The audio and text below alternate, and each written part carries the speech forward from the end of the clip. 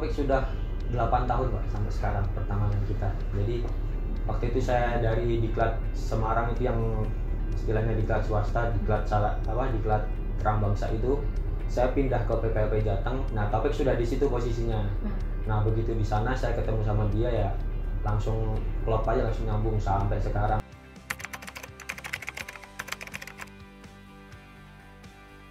Kalau di 2020 kan emang waktu itu pure saya jadi back kiri mbak sama Mas Samsul waktu itu. Jadi kalau 2021 kemarin saya jadi flank sebenarnya. Ya sama aja sih perasaannya. Jadi kayak terharu kaget kayak bangga gitu. Mau mengekspresikan golnya itu seperti apa jadi sampai kayak bingung gitu.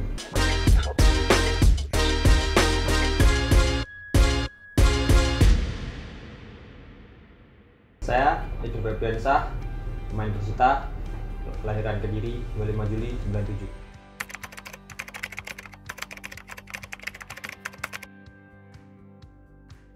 saya keluarga dari Bapak Nur Said dan Ibu Tamimah jadi saudara saya ada dua saya anak tengah-tengah. Jadi bapak dulu juga sebenarnya eh, bisa dikatain eh, suka olahraga juga. Dia main volley cuman saya beda saya merintis di sepak bola. Kakak sebenarnya volley juga sama ngikutin ke bapak cuman saya adik juga bola cuman stop berhenti cowok semua tiga tiganya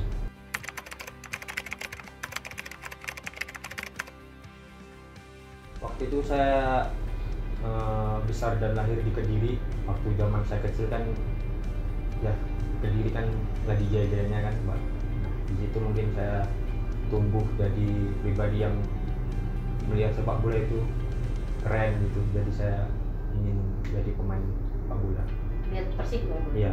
Ada idola nggak dulu di persik yang kayak wah kayaknya mau jadi ya ada era libah ya dia cepat dia bagus dan dia memiliki karismasi yang luar biasa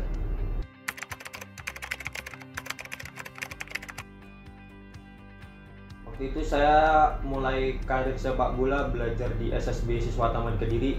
Waktu itu saya ingat banget kelas 5 SD jadi agak sedikit lucu. Jadi besok itu sebenarnya puasa. Jadi sama bapak tuh udah dibilangin udah setelah puasa aja sekalian latihan. Nah ini saya maksain karena udah pengen ngebet banget kan. Hari ini latihan besok udah libur sampai sampai lama gitu dan ya karena udah banyak sama barengan juga dari rumah itu teman-teman juga banyak yang itu udah pada janjian hari itu ya udah. Dan pengen juga akhirnya berangkat hari itu dulu.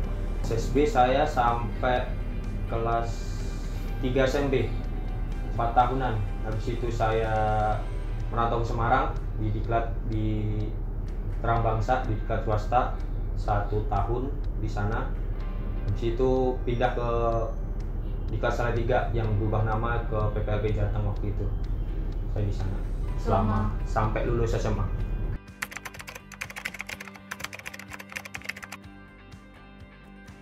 waktu itu saya mungkin itu kompetisi di Semarang itu awalnya. Sebelum ke Semarang itu sebenarnya ada kompetisi di sana. Jadi kita juara dua waktu itu. Final lawan SSB Tubuh Muda kalau nggak salah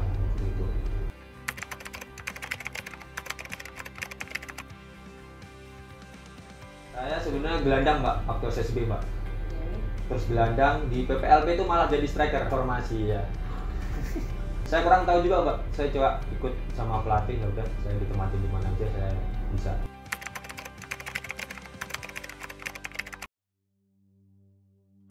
Ya karena mungkin di sana kan diklat kan mbak jadi lebih tertata lebih terprogram semuanya. Jadi saya oke memutuskan berangkat walaupun awal di sana itu awal di Semarang tuh saya sempat tidak betah. Ya begitulah. Waktu belum masih kecil belum tahu apa-apa harus jauh dari orang tua saya ngerasa wah berat banget ini kayaknya saya nggak bisa. Terus saya telepon sempat sama pelatih juga dekat di kediri. Coach saya nggak kuat di sini dah. Intinya mau pulang lah mau ke diri tapi ditahan-tahan jangan jangan. Gitu akhirnya sampai sekarang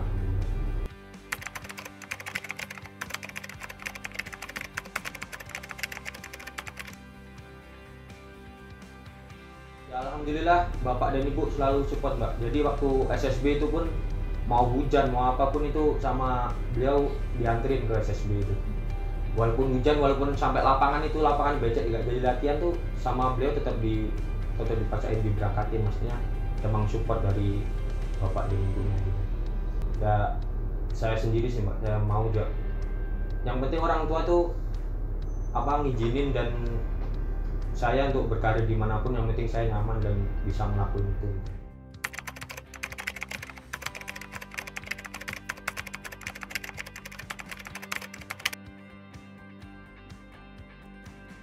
Waktu itu kan jadi berhenti kan mbak apa kompetisi itu 2015 kebetulan saya juga lulus pada tahun itu. Jadi bingung mau ngapain mau ke mana. Sempat juga pesimis wah ini kok modelnya kayak kayak gini jadi nggak kayak istilah pesimis lah mbak. Jadi ya alhamdulillah ada itu dari Kemenpora itu ada ngadain program kuliah ya kan yang dikuliahin semuanya seleksi juga segala macam. Alhamdulillah ada rezekinya di sana. Saya juga masuk ke PPLN itu selama ah, lima tahun. Kurang lebih berapa? Seratusan ya? Seratus sampai enam puluhan gitu lupa saya. Termasuk sama Taufik juga itu barengan saya sama Aldo juga dari sekarang main di Persik ada satu. Sama Rian di PSIS di UNJ jurusan? Jurusan olahraga. Kalau kuliah latihan juga diatur mbak. Jadi ya sembari latihan sembari kuliah gitu. Jadi ada programnya sendiri sendiri kita tinggal menjalani aja iya pasti ada kesulitan mbak. Jadi kayak capek terus mikir juga setelah latihan harus nugas ini juga mikirin juga ya. Lumayan lah lumayan menguras 2016 ya mbak. Telat satu tahun. Oh sempat break. sempat sempat break setahun.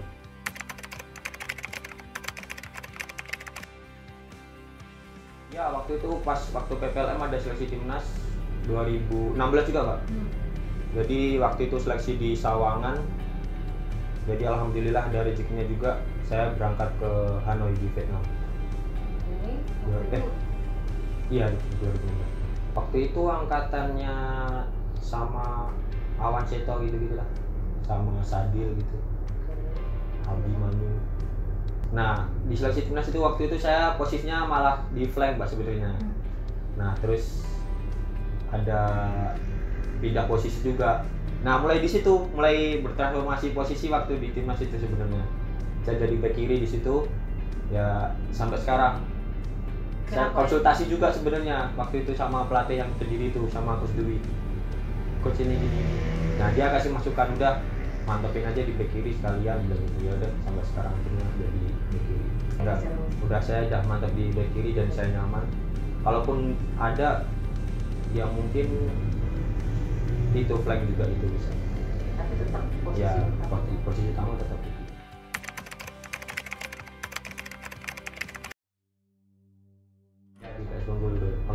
PPLM merger sama PS Bengkulu itu.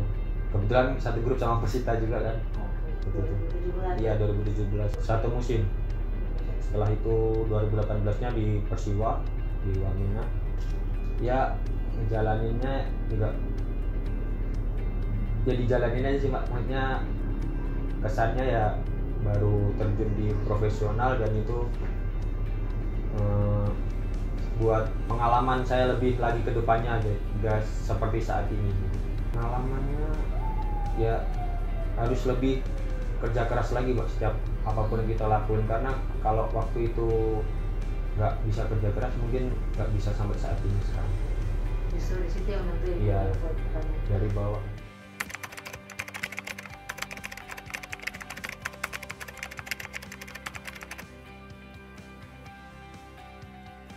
mungkin gimana ya saya ada rasa terharu gitu setiap mau masuk ke stadion gitu. Dulu kan saya dianterin sama bapak kan sama kalau sama bapak itu nonton persik itu pasti rame banget kan waktu itu waktu zaman jaya-jayanya persik kediri. Sampai kadang tiket itu kadang kehabisan juga gitu kan. Terus pas mau anthem lagu itu pasti kayak rasa ini beneran apa enggak? kayak gitu. Jadi kayak terbayang-bayang dulu sampai sekarang kok. Sekarang saya udah dulu saya berada di tribun sana kok sekarang udah berada di sini gitu. Jadi bersyukur banget kayak gitu. Sampai akhirnya ya walaupun sama Persita juga.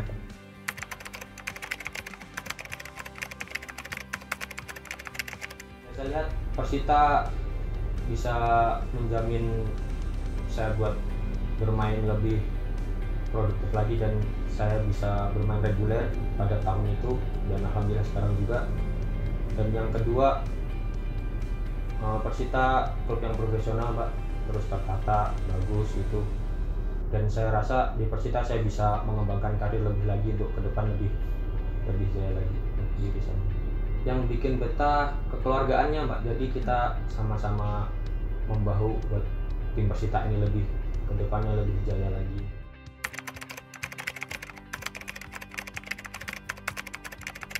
Saya sama Topik sudah 8 tahun mbak sampai sekarang pertemanan kita. Jadi waktu itu saya dari diklat Semarang itu yang istilahnya diklat swasta diklat salah apa diklat terang bangsa itu saya pindah ke PPLP Jateng. Nah Topik sudah di situ posisinya.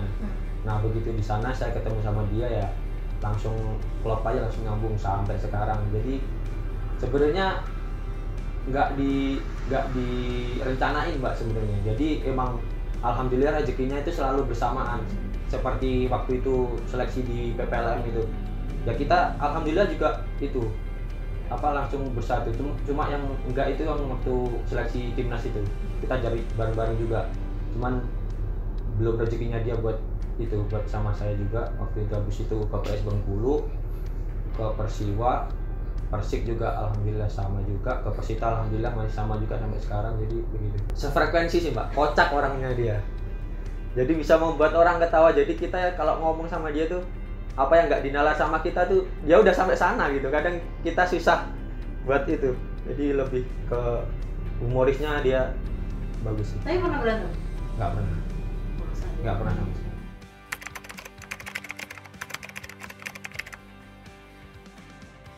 Itu sih ngeyelnya dia itu sih.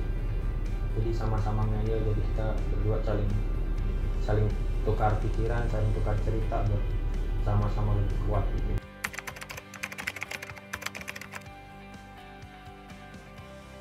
Ya. Dia OTW OTW dia.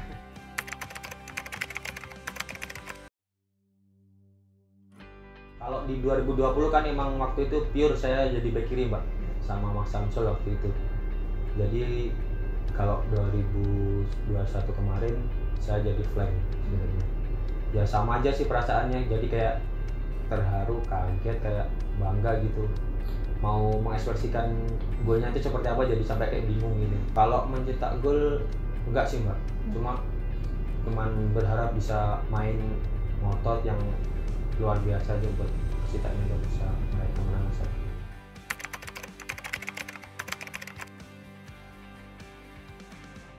Mungkin saya sebenarnya pengennya jadi pengusaha sih pak, bukan itu. Kalau mungkin ada nanti rezekinya di pelatih ya bisa diupayakan. Ya terserah apa pun nanti intinya saya pengen jadi pengusaha. Ya sekarang mungkin saya punya sedikit usaha juga walaupun nggak besar Usaha ikan gurame Di di kediri Kediri. konsepnya kan kayak menabung juga kalau ikan gurame itu jadi saya lebih suka aja daripada uang nggak jelas diarahin ke mana dan mungkin cara itulah yang mungkin buat bisa uang itu tetap ada dan mungkin bisa bertambah gitu. Sejauh ini udah gimana? Maksudnya yang mengelola di sana siapa? Karena itu kan keluarga keluarga bapak emas adik gitu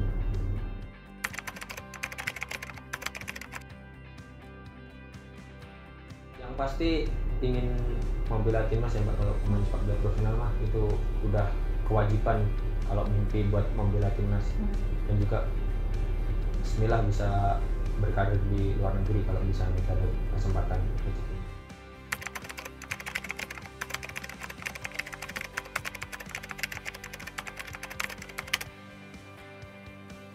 Ada dua pelatih yang menurut saya sangat bisa jadi buat karir saya yaitu ada banyak juga sih kalau dibilang itu.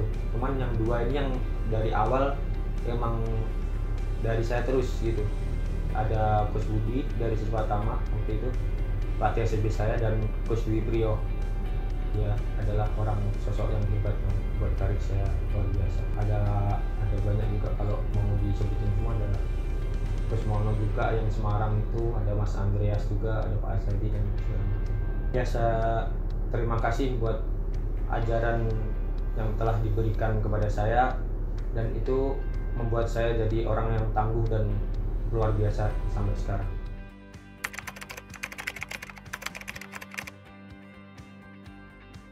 Kalau PR yang pasti bisa lebih baik terus sih mbak. Setiap apa pun itu kan setiap pertandingan-pertandingan pasti ada pembelajaran yang baru gitu. Jadi untuk melangkah ke arah yang lebih baik itu selalu ada